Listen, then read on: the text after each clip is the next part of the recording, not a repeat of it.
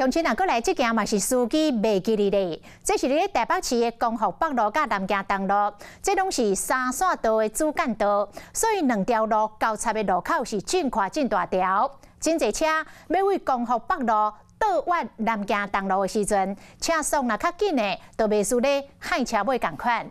结果，讲有公车司机未记得关后边车门，驶经过这个路口的时阵，车身是安尼害过，徛伫个公车顶的乘客话要惊死，讲蛤蟆害出去车外。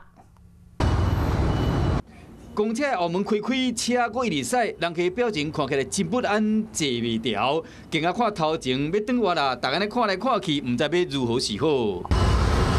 到后一站要转弯，会使看到这个车速无慢，短短两分钟七百公尺，规台车的人客是拢心惊胆吓，都跟司机唔知影。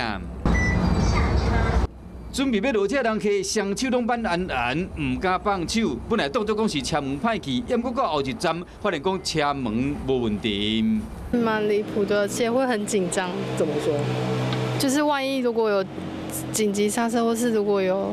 什么小朋友或是老人，还蛮容易跌出去。如果有发现，应该立即要跟司机说。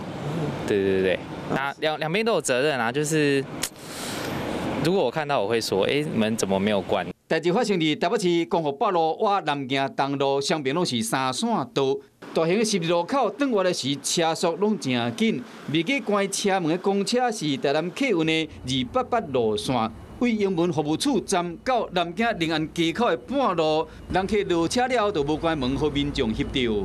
中门打开，车子就是不能前进了，就下令了所有各站马上检查所有的中门的油门控制器。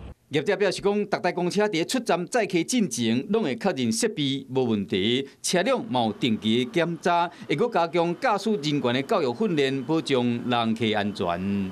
Hello，我是易景，想要抢先掌握最及时的新闻资讯吗？赶快订阅、按赞、开启小铃铛，锁定华视新闻的 YouTube 频道。